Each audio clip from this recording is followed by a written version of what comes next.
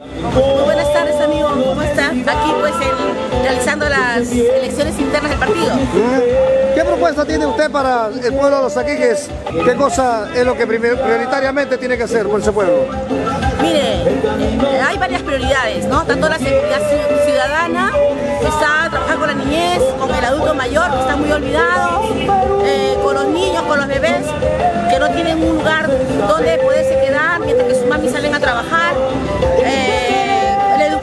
Eh, es un tema muy importante para nosotros tocar ese tema. hay una, diversidad, la verdad.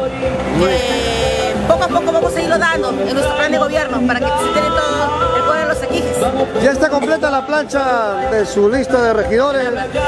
Qué, honor. Sí, sí, ya tenemos la plancha completa, amiguito. ¿Ah? Sí, sí. Bien, yo le agradezco su participación. En todo caso, desearle toda la suerte del mundo en esta próxima contienda electoral. Le agradezco todo corazón, que Dios lo bendiga que el pueblo de los equijes decida.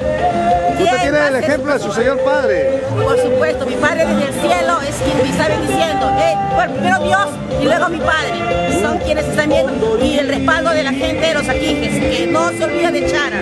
Chara renace. Ok, gracias.